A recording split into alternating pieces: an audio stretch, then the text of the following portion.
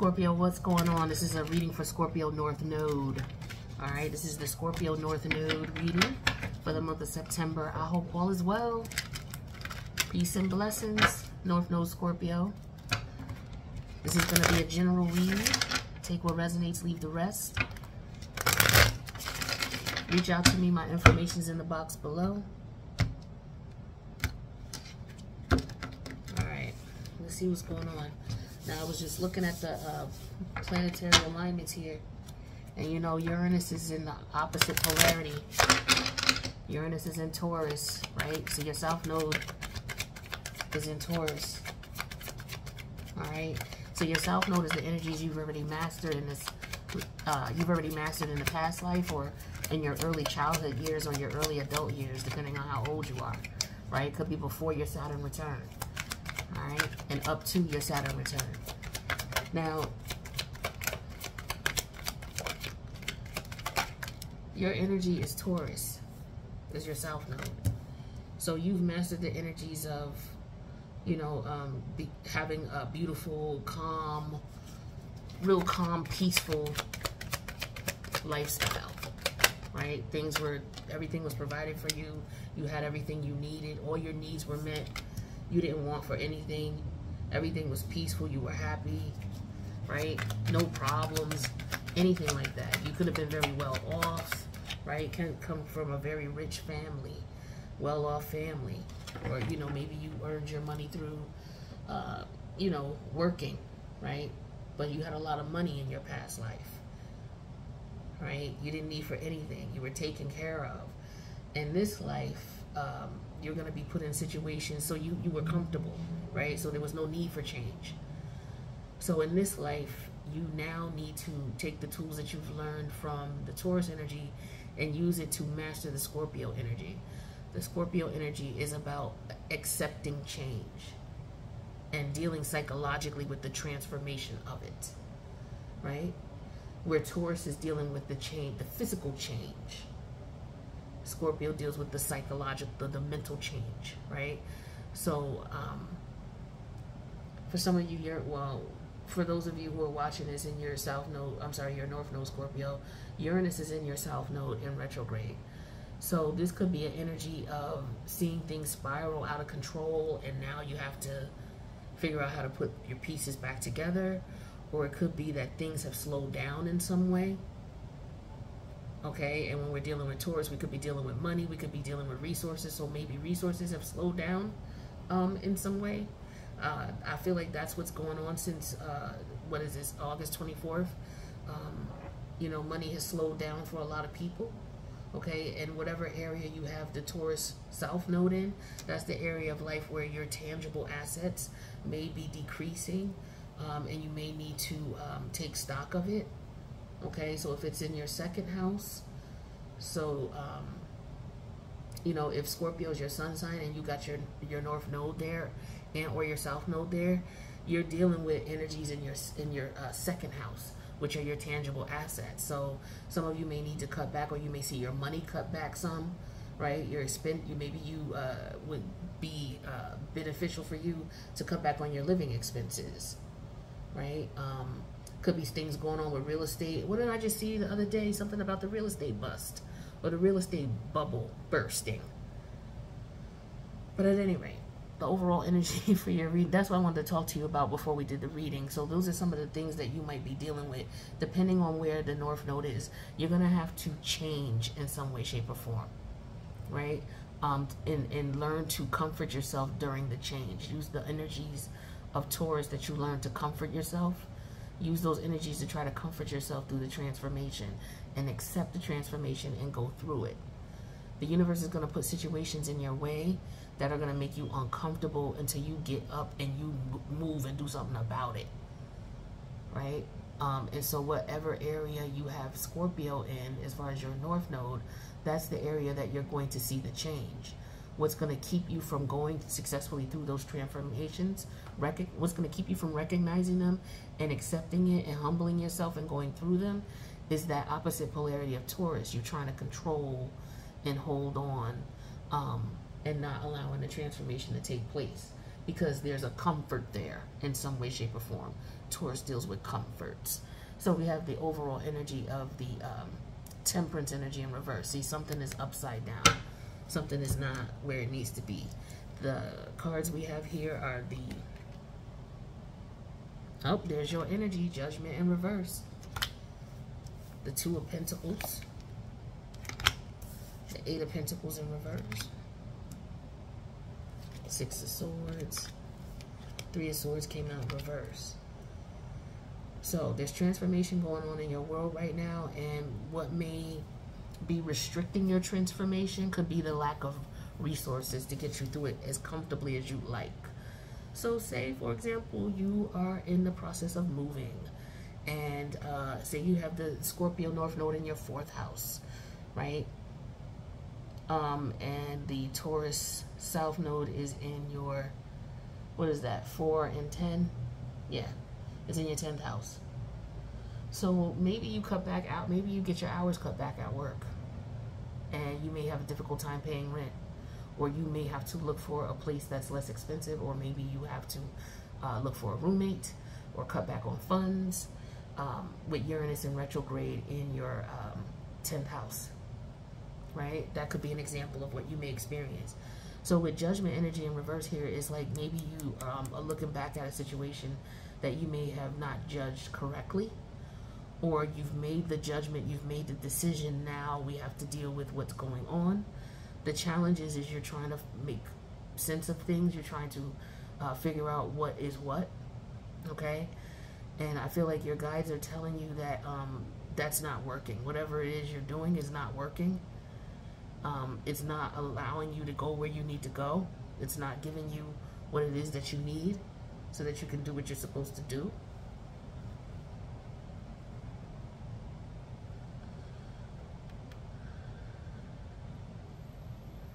And I feel like um, what the universe wants you to focus on is moving forward, moving on, right? Accepting the fact that you need to move on. Because like I said, uh, the scorpionic energy is psychological. So it's in your mind.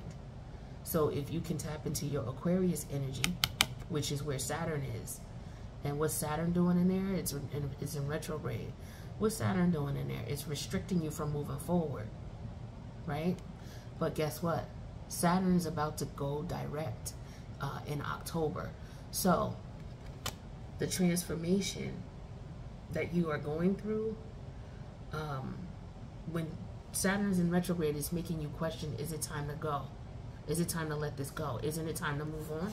The answer is yes. So I feel like for some of you, by the time uh, October is here, if you're not already in that energy, you will have come to the uh, conclusion that you have to change something. You know, maybe some of you are in denial about it now, or some of you may have already done that. You may have already changed what you needed to change because scorpionic energy is transformation. So you may have already accepted what was going on, but I feel like with temperance energy in reverse here, some of you not so much, not yet. But I feel like you're going to get there. This is what the universe wants you to focus on, is getting there. But something's not working with the Eight of Pentacle energy in reverse. You're wasting your time here. Okay, this is the sun in um, what is this? Virgo? Is this the sun in Virgo? It is. It's the sun in Virgo. It's in reverse. So yeah, you're not seeing that this is not working. Or it could be finances because we're dealing with Jupiter. The Two of Pentacles. I'm sorry, we're dealing with Judgment. Pluto energy. Pluto's about money as well. So we all really need to be also looking at where Pluto is for you, and it's in uh, Capricorn. Pluto's about to go direct as well. So in October. So for some of you, it could be your money. You're juggling money with your Two of Pentacles here. You're trying to, you know, could be an energy for some of you of robbing Peter to pay Paul. Uh, but you don't have enough. Maybe you need more money. For some of you, you may not be making enough with this Eight of Pentacle energy in reverse. Um, and it's time for you to uh, to change it up. You may have to move. You may have to relocate. You may have to. Uh, some of you uh, may have um,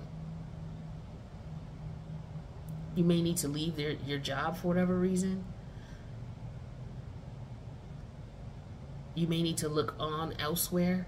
universe may be telling you you need to move on elsewhere from someplace else and let this place go. If you're dealing with this at a job, if it's a relationship, it's time for you to move on from it and let it go. It's not working. It's not benefiting you. You're putting in work and you're not getting anything out of it. Okay, especially a job. Especially a job. Let's take a look at these top five cards. But a relationship as well. Some type of partnership. Anything where you're dealing with other people's energy because that's what we're dealing with with Pluto and Scorpio. Okay? Other people's energy. Other people's money. Alright? So for some of you, um, you may have gone into business with someone and you realize that this shit is just not working. you two are just not. Uh, you two don't. You're not. You don't have the same beliefs. You don't. You don't have. You don't have the same morals and values. You know, ethics. Things like that, which is like Sagittarius energy with the Temperance energy in reverse. You two don't. You're not. Too, you're not spiritually aligned at all. Okay and I feel like you know this, and you may be feeling like with the judgment energy in reverse, you you may have been ignoring it for a while. You may have known it to be true, but the connection was so strong. And now you're, you know, you're looking at it and you're like, okay, how do I let this go? Because for some of you, you already are like, yeah, I want to move on. You're over it. You're done with this. So the cards that we got on top are Temperance energy in reverse, right? not being treated fair too. This could be discrimination at the job. Okay. We have the uh, the lover's energy. Excuse me. I don't know where why I was in another world when we was talking here. All right. So that's the Gemini energy with the lovers. Another major arcana here, but it came out in reverse. What is this? damn it. The Hierophant, excuse me. Came out in reverse. Ten of Wands. Eight of Wands. So, yeah, you two are not evenly aligned. Somebody needed to make a choice. Okay, in some way, shape, or form. All right, so there's three people here. There's a Three of Swords here in reverse. So for some of you, this could have been a, a, a choice between um, anything. Okay, it could have been a choice between two people. Could have been a choice between a job and a person. Uh, you know, any combination of a person, place, thing, or idea. Okay. So there was a choice that had to be made. And we know that because judgment is here in reverse. You're, you're looking at the choice and maybe you're feeling as if, you know, that was the wrong choice with the Hierophant energy in reverse. Some of you went back against your higher self. You knew that this wasn't working. But you, you did it anyway. Here's another energy of Virgo not working. Virgo's all about work. When it's in reverse, it's not working. These cards are in reverse. Alright? The Hierophant's in reverse. So you got, you know, you got tired. Okay? Is what I'm getting here.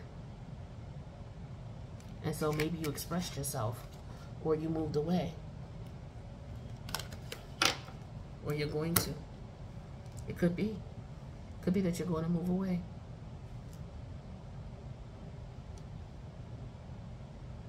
For some of you, you're going to leave, you're going to quit, you're going to move.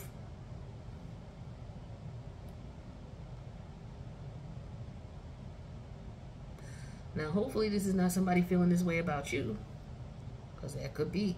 But I feel like for most of you, you are looking at a situation like, ah, this is the end of the rope here. Uh, I think it's time for me to start considering it. Uh, it's time to get off and move on, right? Um, there could have been a major um, situation that happened with the tower, uh, not the tower, of judgment energy in reverse. Um, some of you, this could have had something to do with money. Some of you could have lost some money.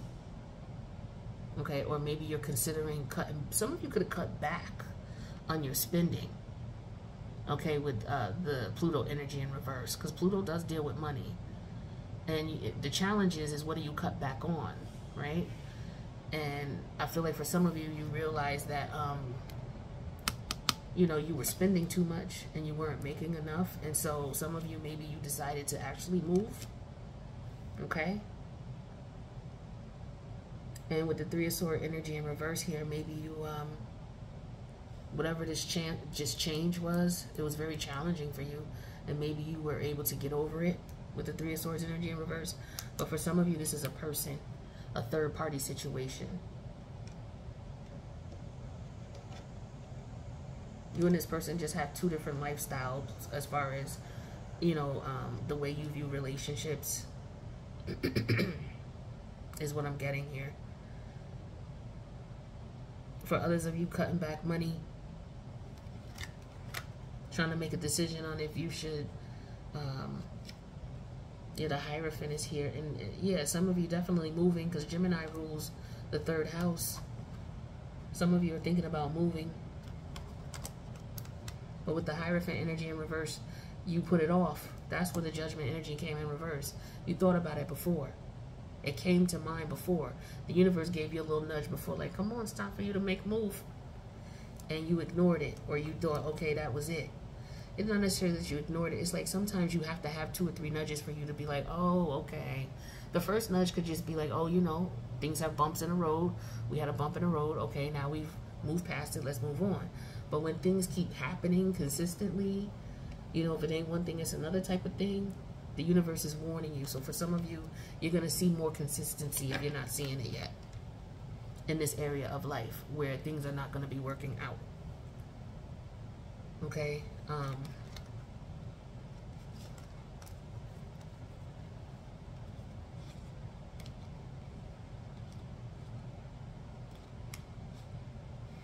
so,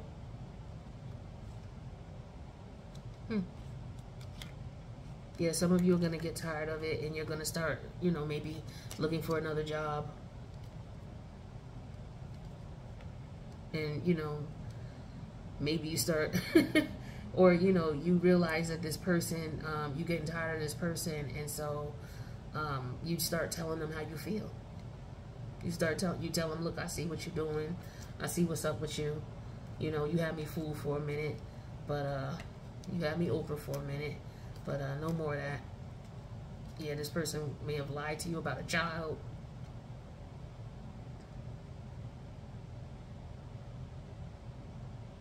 They may have uh, withheld the fact that they uh, may have had a child with somebody. This could be somebody who just didn't want anything more than just, you know, um, you know, a rump in the hay from time to time. And some of you are coming to the conclusion, whatever it is, it's not working. It's time for you to make moves, okay? Listen to your intuition. That's what I got for you, North Node and Scorpio. If you need a personal, feel free to reach out. My information is in the box below. Make sure you subscribe to the channel. Hit that notification bell. That way you'll know when I post. Oh, make sure you check out my other channel, which is Many Styles of Tarot. The link for that's in the box below as well. See you guys in the next reading. North Node and Scorpio. Peace out.